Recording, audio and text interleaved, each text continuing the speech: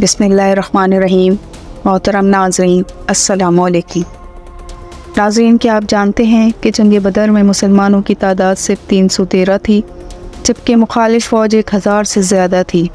ये तारीख़ी जंग इस्लाम की तारीख़ का अहम मोड़ साबित हुई, जिसने मुसलमानों को पहली बड़ी फ़तह दिलाई।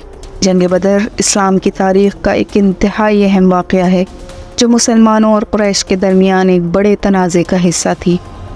इस जंग का पस मंज़र उस वक्त के हालात से जुड़ा है, जब मक्का के क्रैश ने मुसलमानों पर जुल्म सितम उठाए और उन्हें मक्का से हिजरत करने पर मजबूर कर दिया।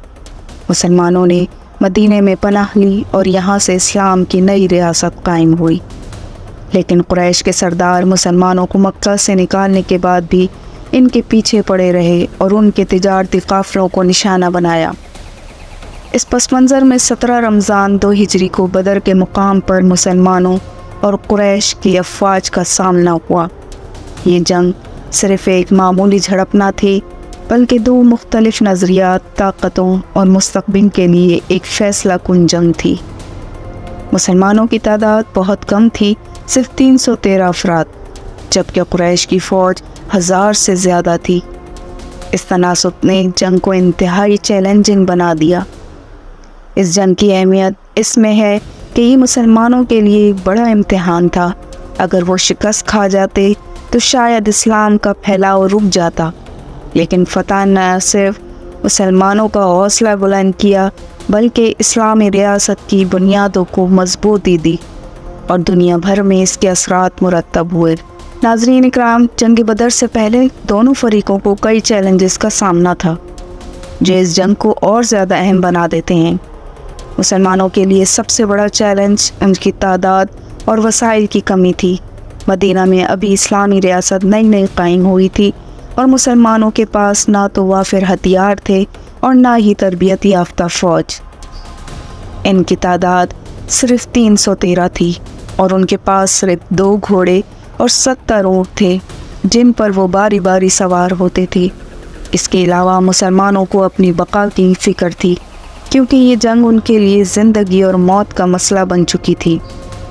दूसरी तरफ़ कुरैश की फ़ौज तादाद में बहुत ज़्यादा थी। एक हज़ार से जायद जंगजू, मुकम्मल असला और सौ घोड़े और सात सौ ऊँट उनके पास थे। लेकिन उनके सामने भी चैलेंजेस मौजूद थे।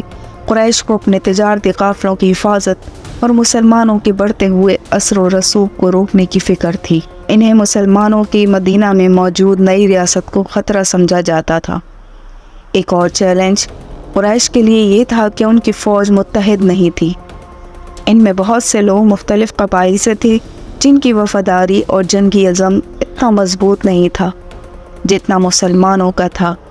क्रैश को जंग के लिए ख़ास मनसूबाबंदी और तंजीम की कमी का भी सामना था, जबकि मुसलमानों के लिए मदीना की इस्लामी हुकूमत एक मकसद के तहत जंग कर रही थी।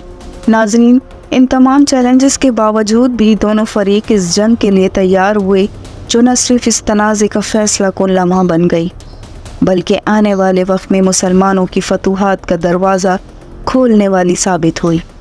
जंग बदर में कुछ अहम शख्सियात ने मरकज़ी किरदार अदा किया और उनकी हमत अमलियों और फैसलों ने जंग के नतीजे पर गहरे असरा डाले। मुसलमानों की क़्यादत रसूल अलैहि वसल्लम ने की। आप अलैहि वसल्लम ने ना सिर्फ़ फ़ौज की क़्यादत की, बल्कि जंग की हमत अमली भी ख़ुद तरतीब दी। एक अहम फ़ैसला जो मुसलमानों के हक़ में गया वो ये था कि आप अलैहि वसल्लम ने बदर के चश्मे के करीब अपनी फ़ौज को ठहराया, ताकि पानी की सप्लाई मुसलमानों के कंट्रोल में रहे।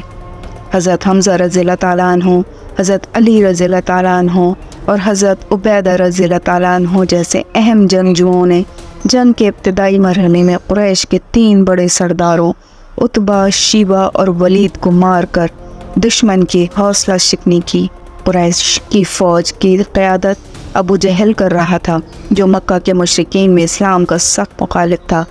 इसकी हमत अमली मुसलमानों को ताकत के ज़ोर पर ख़त्म करना और उनकी मदीना की रियासत को तबाह करना था। लेकिन अबू जहल की फ़ौज अगर तादाद में ज़्यादा थी जंग के मैदान में मुंतशिर थी और उनके पास वाज हमत अमली की कमी थी। क्रैश की फ़ौज का ज़्यादातर इसार अपने हथियारों और अदबी बरतरी पर था। लेकिन ये हमत अमली इस वक्त नाकाम हुई जब मुसलमान अपनी मज़बूत ईमान और बेहतरीन क़्यादत की बदौलत उन्हें पीछे धकेलने में कामयाब हुए। मुसलमानों की कामयाबी में अहम किरदार अल्लाह की मदद और उनके ईमान का था। लेकिन इसके साथ साथ मुसलमानों की जंगी हमत अमली, नज्म ज़ब्त और इनफरादी जंगजुओं की बहादुरी ने भी अहम किरदार अदा किया। जंग के दौरान अबू जहल का कत्ल कुरैश की फ़ौज का हौसला पस्त करने का सबब बना और नतीजा ये निकला कि कुरैश के बड़े बड़े सरदार मारे गए, जबकि मुसलमानों ने फतह हासिल की। इस जंग ने साबित किया कि मुसलमानों का इतिहाद हमत अमली और ईमान कुरैश की बरतरी को शिकस्त दे सकते हैं। जंग बदर के चंद अहम लम्हात ने इसका रुख बदल दिया। सबसे अहम लम्हा इब्तदाई मुकाबला था, जिसमें मुसलमानों के जाबाजों ने कुरैश के सरदारों को शिकस्त दी।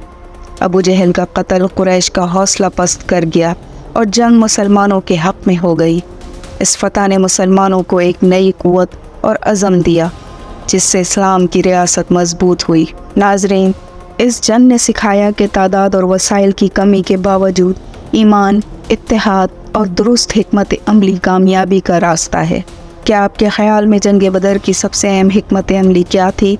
कमेंट्स में अपनी राय दें और तारीख़ी जंगों के बारे में मज़ीद जानने के लिए हमारी अगली वीडियो ज़रूर देखें। अगर आपको ये वीडियो पसंद आए तो इसे लाइक, शेयर और सब्सक्राइब कीजिए। शुक्रिया।